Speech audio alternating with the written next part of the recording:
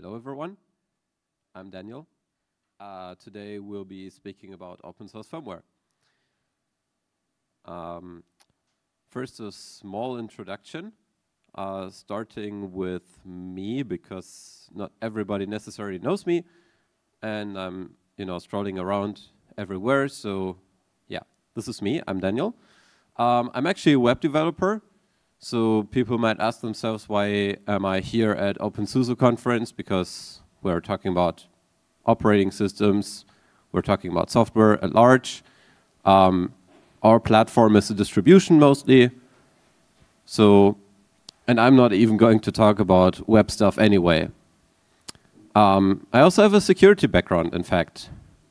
Okay, so I look at all the things out there I don't just look at the very high level where I'm necessarily working, but also look at very, very low levels sometimes. And that's what brought me here. I'm also a member of a hackerspace in Bochum, Das Labor. Um, that I down there, that's uh, our logo. And I like turtles.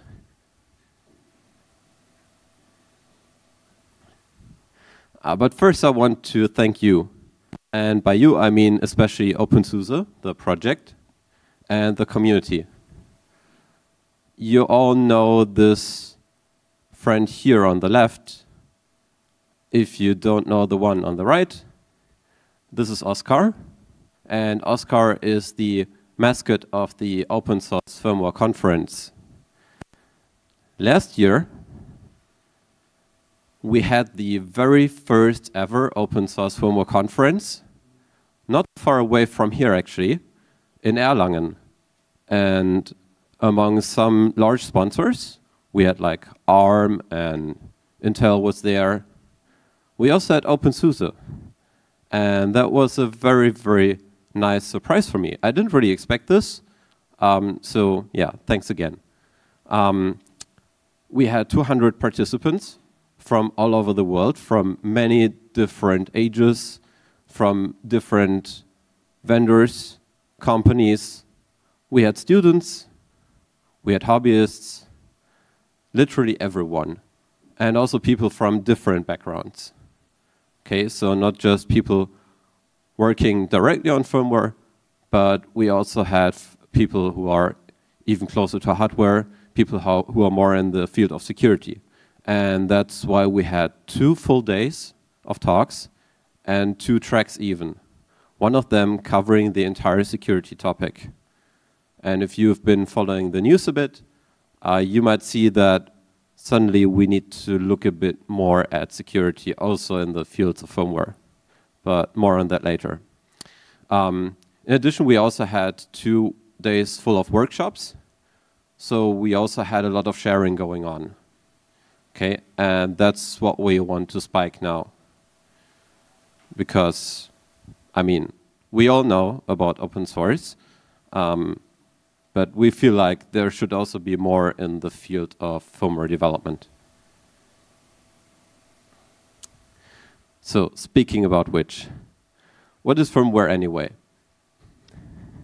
Okay, so firmware is literally everywhere. Uh, the picture here on the left I took that from uh, one of the apprentices in our office once uh, because it was just updating its firmware. You know, it, it, happens sometimes. So you need to tell people, oh, you can't print right now. It's running a firmware update. And now people suddenly get aware of, well, things actually running on those devices. You know, almost everyone has a watch now like this, or not necessarily everyone, but many people, which is also running some sort of firmware. So those are those very small devices where you usually have one system on chip. And, well, they are kind of ubiquitous now. Um, on the other hand, we all know laptops, like this one here. Uh, th this here is a, um, an actual photograph of another laptop of mine. And here we actually see the settings we can do in the firmware. And in laptops, we typically have more than just one chip. We have lots of chips, and they all need some sort of firmware. So you all know BIOS, the legacy basic input-output system. You heard about UEFI, so that's what many modern platforms are now running. That's what's on the host CPU. Uh, but you also have the ME, the Intel Management Engine, which is a tiny coprocessor, also somewhere on your main board, found among Intel devices mostly, of course. Um, then you have a gigabit Ethernet interface. It also requires additional firmware in many cases. So that means without that firmware, things may not even function properly. There is an embedded controller somewhere on your laptop, which is nowadays responsible, for example, to power the fan. So it will measure and check the temperature. If it's running too hot, then it will turn on the fan, make it go faster. And if that doesn't work, then, well, your laptop won't survive too long. Which brings us to vendors. So vendors are already providing us with firmware, right? So when we buy a laptop, we know there is already something on there. Even if there is no operating system installed, we still have firmware. So we can boot one of our systems, install it, and happily run our system, right? And we can even upgrade it. So now we have a new project. It's quite some years old now, but you know, still getting more and more traction. The Linux vendors uh, firmware service, where vendors can go and upload their firmware, so that people running, you know, all those diverse distros, we have so many of them, people can still, regardless of the distro, use one single tool to upgrade the firmware. There's more than 100 vendors now on the list on that platform. Um, not all of them are already supplying updates there, but the platform is growing and it's more and more vendors doing something. So we're actually done, right? So we, we, we don't really need to do much more in the fields of firmware. Uh, let's check. Because there is actually some issues now. Okay, so the first thing is continuous updates. I don't know about you, but usually when I, as an end user, I buy one laptop and I check the vendor's site for updates, usually I can count to like two or maybe three updates through the entire lifetime of the device, which is not very much. We already had a very similar issue with phones. You remember those devices which have been running an ancient version of Android for I don't know how many years? Which is not just a problem for consumers in the end, but also for the entire ecosystem. In my company, we have also developers on mobile platforms. You know, there's iOS developers, which are always happy because Apple is always shipping updates, and there is Android developers who still always have to check, do we still have to support this and this version? How many people are still using it? And we don't want to keep this problem everywhere. So since we currently depend on the vendors, we need to do something ourselves maybe and we don't just rely on the vendors themselves, but we also rely on the quality. I just had a chat outside with someone telling me that they bought a device, an NVMe drive, and it had a firmware uh, issue for about nine months until they got an update.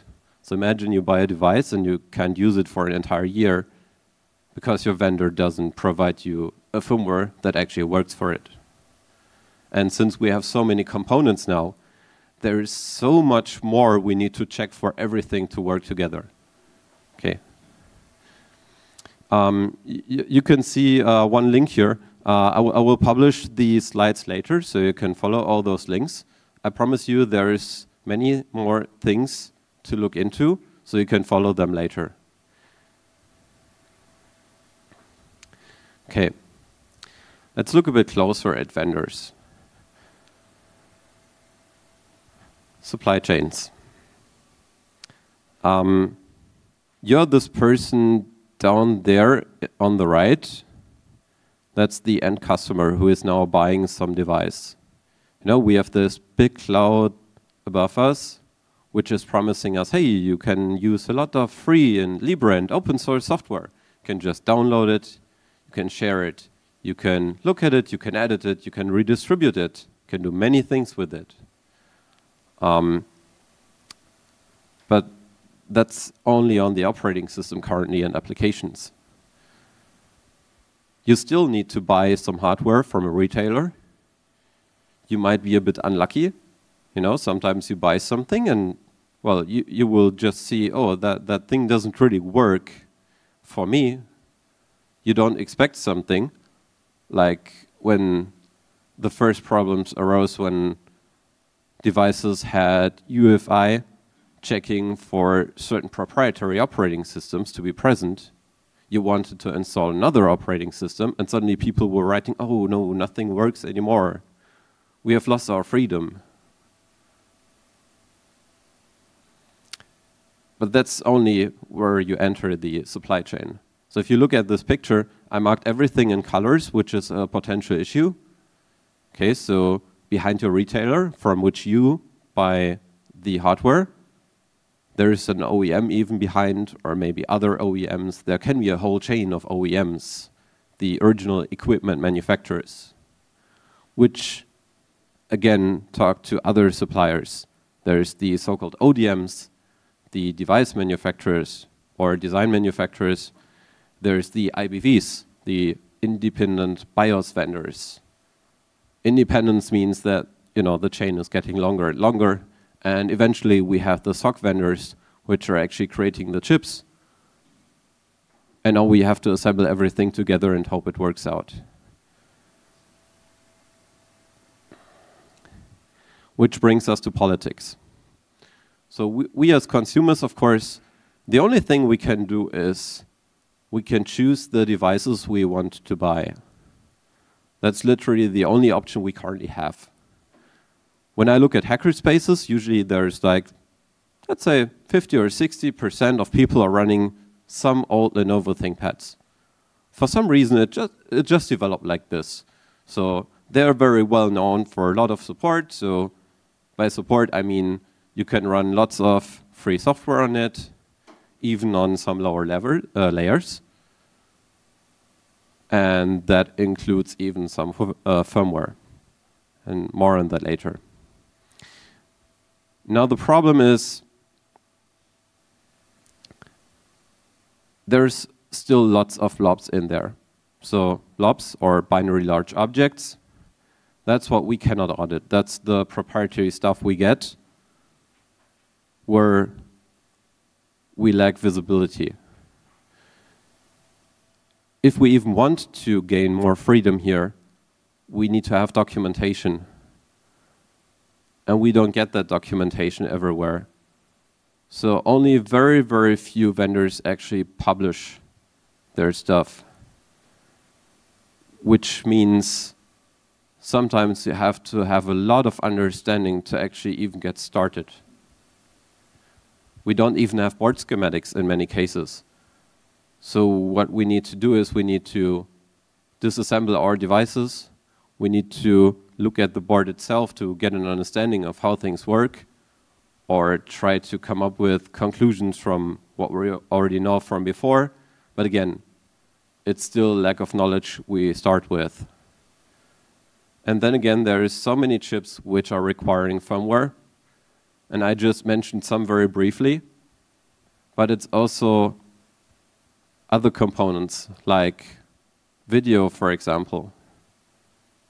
You cannot even have video output without blobs on some platforms. And that's a bad thing for us as an open source community. We don't really want that. We would like to have the sources. We would like to also work on things, improve them. Now, what current vendors do is they implement an interface called UEFI. It's promising to be extensible. It's a firmware interface. That's literally what it means. And it's already huge. Now imagine a huge specification and you even want to extend that. That's so complex. This is not where we want to start. And then, of course, there is security. I guess everyone has seen those pictures at some point. Spectre and Meltdown, they were in the news, they were big. There were those Rowhammer attacks. And this is mostly still in research now. So it's even hard to tell if people actually exploited those vulnerabilities. So once again, that's another reason why we need more open source firmware. And also board schematics and everything else. The Intel management engines had a longer list of CVEs with one, then the second one, and three, and four, and five coming up. People were getting a bit nervous about it, suddenly calming down again, but still, in the first place, it sounded like, oh no, everything is broken now. Well, I can calm you down again as well. It's not as bad as it sounds, for end consumers at least. Some server boards were having trouble with this, of course because this is where the management engine was actually active. Can be used for provisioning, and that should, of course, work.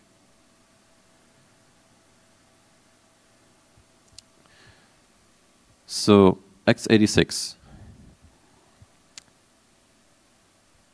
Everything which has a minus is a very, very low layer. This is where we have a platform which we are running on again. And the very first thing here is the ME, the management engine.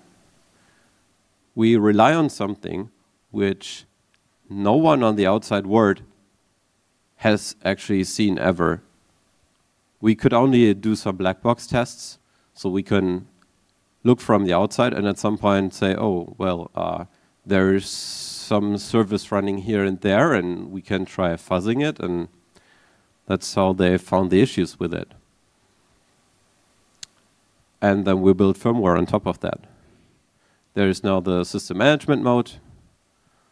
Based on that, we can run hypervisors.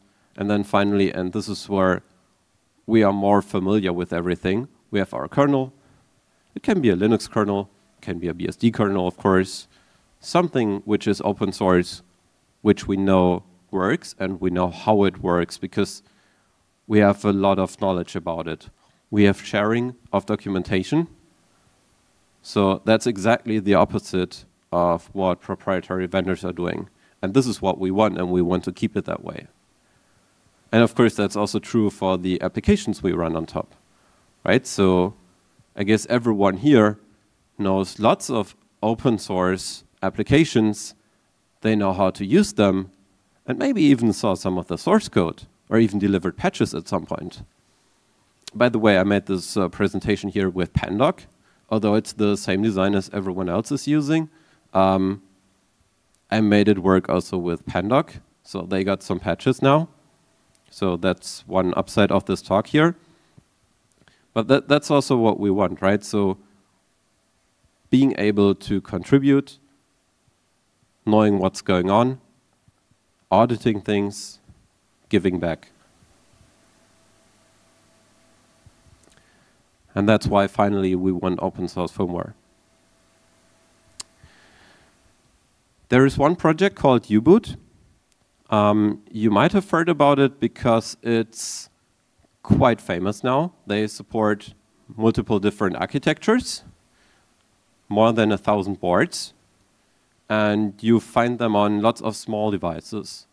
That includes uh, lots of routers you can get for home use, and also stuff like this. This thing here is so tiny, it's literally just a gigabit Ethernet port and a small MIPS CPU behind it. And it's probably booting with U-Boot. I'm still investigating this, but th this is uh, kind of the devices we're talking about when we talk about U-Boot mostly. It's also been used on other platforms, of course. Yeah. And what does U-Boot do? It initializes your hardware. So eventually, including this device and also your home routers, we probably run a Linux kernel on top. In this case here, it's a build of OpenWRT, the famous open source router project, which is also used for the uh, German Freifunk project, or not just German, I guess now it's also spread among other countries. And it's so amazing.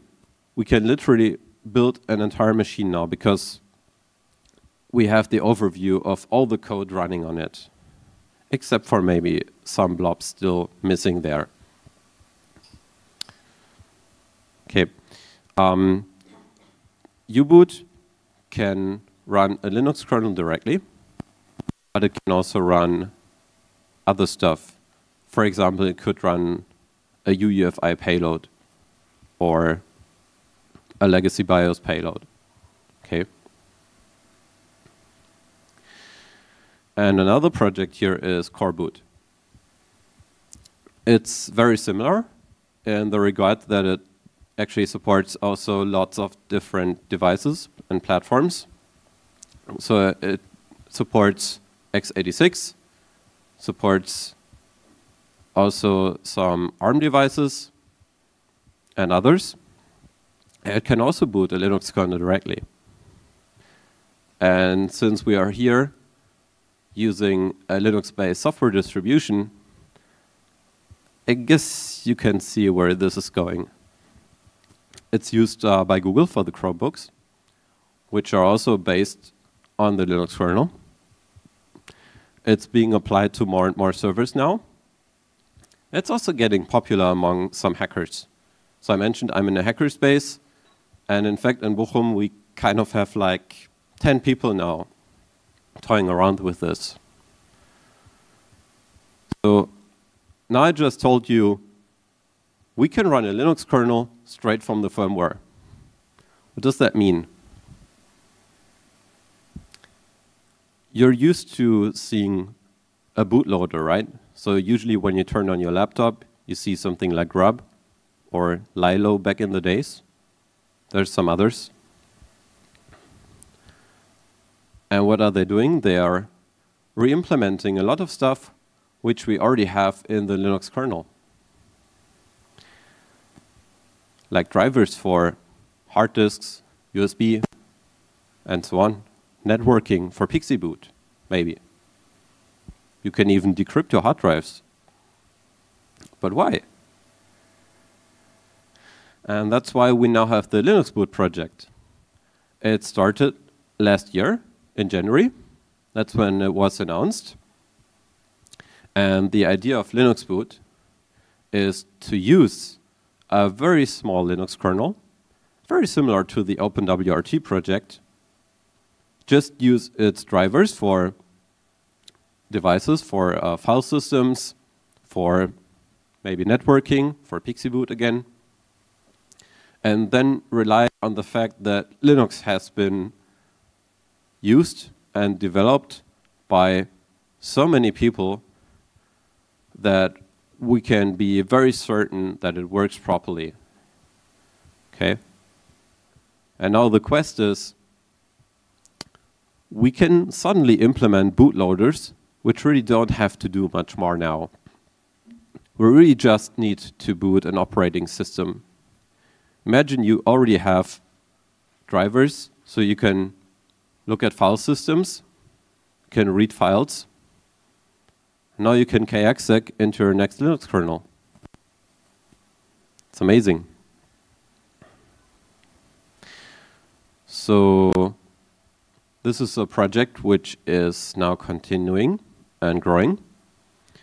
Um, it's written in Golang, or some utilities are actually written in Golang. Um, so if you, if you are familiar with that language, it's something you could look into. But since we're running a Linux kernel now, you can write in any of the languages you're familiar with, which you can run on an operating system, right? So you can write something in Rust, you can write something in C if you will, anything. Now you can help yourself in case you can't boot.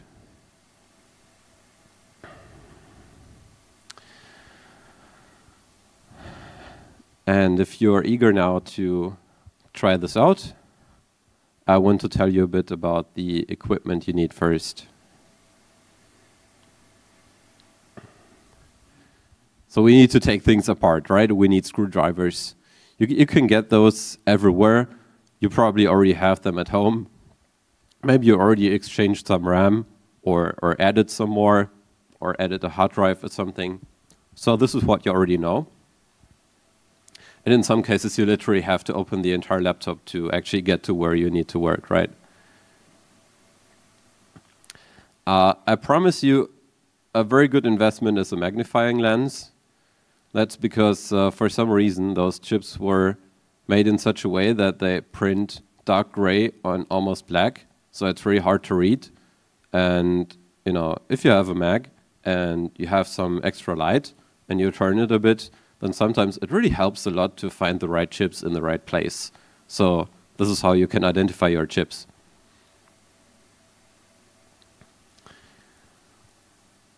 You see those chips here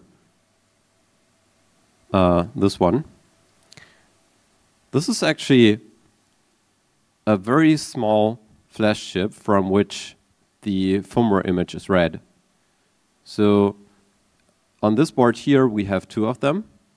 On one of them, we have this test clip. And this saves you the pain of actually doing soldering work. So you can just attach that clip. You just need to figure out the orientation and that's all. And suddenly you can interact with this chip. It's very much like a USB drive, just a bit smaller. So usually those range from 4 to 8 to 16 megabytes these days. This is the 8-pin form factor. There is also 16-pin form factors, uh, but this is what you mostly find on current mainboards, like this one, for example. On the other side, you need a programmer. You can use anything which knows SPI. This one here is a very, very cheap device. You can get it for five or six or seven euros on Amazon or eBay or whichever is your preferred platform. Um, you can also use a BeagleBone Black or Raspberry Pi. People are famously doing this a lot. So if you look at tutorials, for example, for Coreboot, uh, people sometimes use those. Uh, I prefer this tiny device for uh, one reason. I don't need to find the SPI interface and I don't get the wires wrong so easily. Right, so I only need to get the orientation right and that's literally it. And again, it's quite cheap. And of course, we need the software side. So we have open source firmware now we need to build it. If you know how to build a Linux kernel, then you also know how to build coreboot or U-boot. The process is always the same. You need a toolchain, you need a toolchain on your host, but you also need a toolchain for your actual target. So, for example, coreboot lets you just build a toolchain with a very small make command, and then you can just choose it for your desired target platform. Of course, it takes a while, but you know, then you have a tool chain. Sometimes you need some extra utilities. For example, one that is called YASL or IASL, which is used for some other code to be converted. And then some utility to use the programmer. There is the flashrom project, which is also adopted now by the Coreboot community, which knows how to use lots of SPI programmers, including the one I showed. But it also supports others like Raspberry Pi, BeagleBone Black. You can use many different ones. Now we have everything. Let's start hacking. So this is the first very simple thing which you can do even without the hardware equipment. Everybody can literally do this. You can clone a project, let's say the Coreboot project. You can build its toolchain. By default, it's configured to be running with SeaBIOS, a legacy BIOS implementation, which is open source. And then you can just run it in QEMU just to try it out and see if it boots. So here's just a screenshot from SeaBIOS, which is coming right after coreboot. So coreboot takes it as a payload and then just runs it. And it gives us some output, right? It says, hey, I'm SeaBIOS running here. It's running on the screen. Now we have output here, and it can try to boot something. You can even attach an ISO file, and then you can boot your favorite operating system.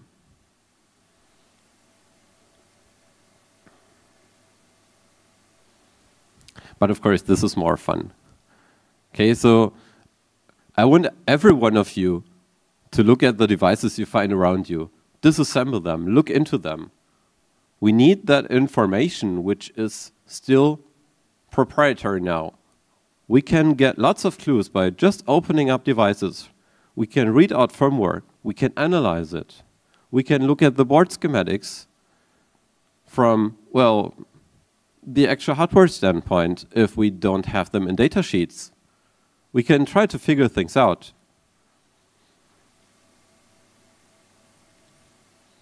And that's what I did. This year is the result of, let's say, some years of work. I had this laptop for quite a while. It's from XMG, which are related to Tuxedo. They are also present here. Um, and I was having a slight problem with the touchpad here. So uh, this thing here is a Gigabyte laptop, so it's not Clevo branded as uh, most of the other devices they sell. And Gigabyte doesn't publish much information. I tried to apply one of their firmware updates. I got it to boot. After having all of this knowledge, I literally used the programmer to flash that new firmware, but I wasn't still very happy with it. So a friend of mine said, hey, let's see, maybe you can get along with coreboot. And I promise you, it was a very, very refreshing, painful, and at the same time happy tour through all the layers of hardware and firmware. I gained so much knowledge just during the last, let's say, three months while doing this. All my progress is uh, behind those links here. So I put everything on GitHub. There is one gist where I dropped lines on all the steps I went through. Some patches are already in the coreboot documentation now. And there will be more and more added. And at some point, you will see that it's actually so similar to the Linux kernel in lots of ways. We can learn from each other. And in fact, for this very device here, I looked at the Linux kernel source code to find relationships between certain chips I have in this laptop. For, for some reason, I was, I was lucky to figure out about one chip that it's actually the same model as a different one when a company name changed. But you know, how do you figure this out? Even if you know names of certain chips, you use a search engine to get information, it's really not trivial. But we can share information. And I'm very happy that the Linux kernel is open source, so I could get that. So what did I get to work? Um, you can see text on the screen here.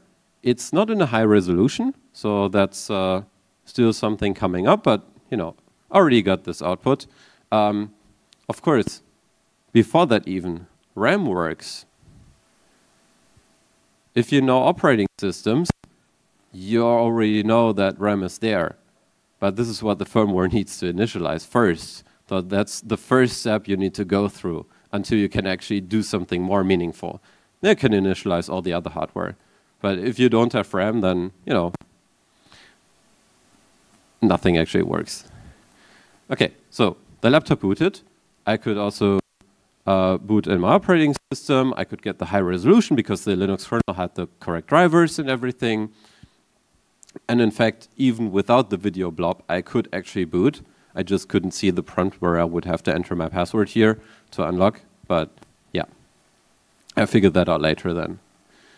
Bluetooth works, Wi-Fi works, USB works, even suspend and resume, which I didn't expect in the first place, worked. It didn't work with the lid being closed, so there is ACPI events which need to be triggered, but yeah, that, that's the next steps now. And one thing which is even more painful, I already mentioned this earlier, the embedded controller, which is responsibly uh, responsible for cooling down the system, it didn't really do its job. I haven't yet figured out the issue, but we're getting there.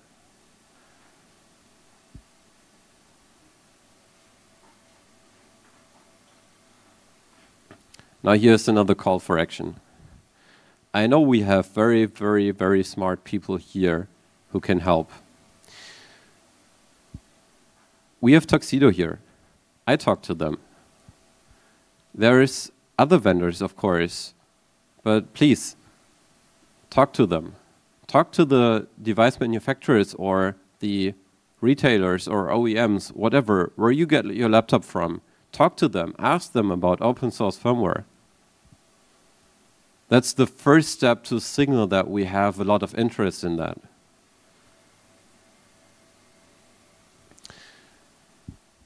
Operating system distributions. Why not integrate firmware updates as well? We just had a talk, a very short one, but a very good one, about transactions. When you hear hey, we don't really want you to install firmware updates actually because it might break your device. That doesn't make us very happy. Coreboot supports having multiple payloads and multiple implementations of the initialization as well. So we can also fail over. That's what the Chromebooks are, for example, doing, by the way. We can build our own firmware. We have OBS, we can even run checks on the firmware. We can use OpenQA for that. We have a lot of infrastructure. And of course, we can bring the kernel and firmware developers a bit closer together. So if you're working on the Linux kernel, look into projects like U-Boot, look at Coreboot, see if there is something you can do for them, see if there is something they can do for you, so that you don't need to fix broken ACPI tables or something. You can join the community. We have different channels in different chat systems, IRC, uh, there's Slack for the more modern people. And of course, now,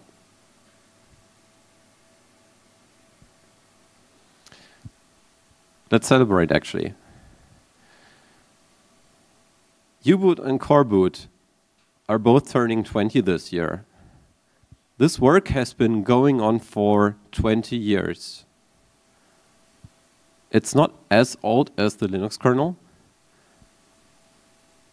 And in fact, the Coreboot project itself was first called Linux BIOS because that's what they were going for. Now it's more universal. We can celebrate 20 years of open source firmware, but there is still so much work to be done. So let me invite you to join us in the Open Source Firmware Conference. The next edition will be this year, again in September. This time we will be in San Francisco, so we're going around the globe a bit if you are interested, the call for papers is still open. If there is something you can tell, maybe from the perspective of an operating system, from a distribution, or from a kernel, please do so. We had lots of interesting talks already last year, and what I'm still missing is more synergies, because I feel that there is still something we can share.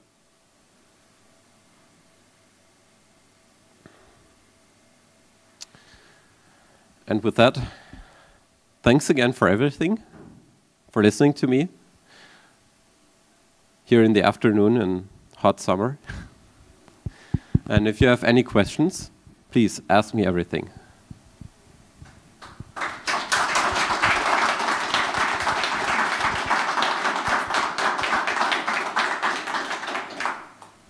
Uh, the mic is already there. So you so said that you were interested in building um, bootloader packages. So we already have a hardware colon boot project in OBS that could be used for that, or you could have you know sub project as. Can you get the mic a bit closer? Sorry. yeah. There is a hardware colon boot project in OBS if there's any additional bootloaders that you need beyond U-boot that we already have there, for instance, you're free to submit stuff there, or we can also create, you know, sub-projects as needed for that. Okay, great, thanks. Yeah, my question uh, relates to the uh, management engine, Intel. Uh, there are a couple of myths running around it, and what would happen if I just switch it off? We'll try. That's the point. How? So what you can do literally is, if you have the ME region in that flash chip I showed you, you can just override it with zeros. I promise you, your system won't boot. That's what is going to happen. There is one project, which is called ME Cleaner, to strip down the ME to the essential parts you actually need. I mean, if you don't have the ME running, then sadly your device won't really work. That's the sad news. The good news is that we can at least remove some stuff which is really not necessary, but potentially harmful. The project is also still going on. It's a Python script, so you can look into that. You mentioned Tuxedo twice.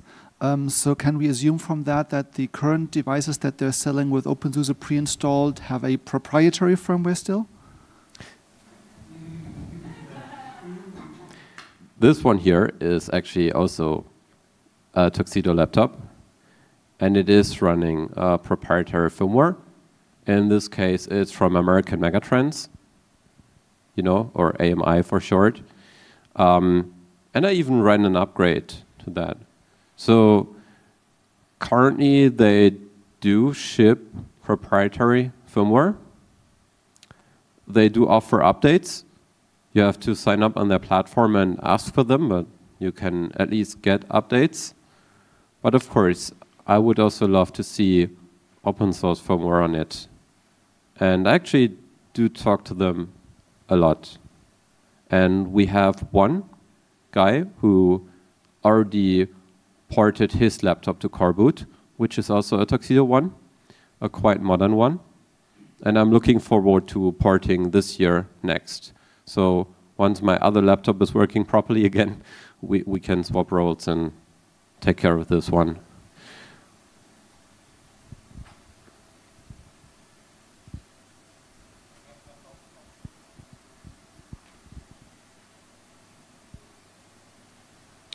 We have two minutes. I, I still have a little bonus. I already talked to you being maybe kernel developers or maybe distro developers. There is an event coming up, the ITSA or ITSA. ITSA is also here in Nuremberg, so that's later in the year, you can use this opportunity to come and visit a friend of mine who is running the company Nine Elements Cybersecurity. They port Coreboot onto more and more devices, and they develop security features for the firmware. So if you are running data centers, this might be an option for you as a business user.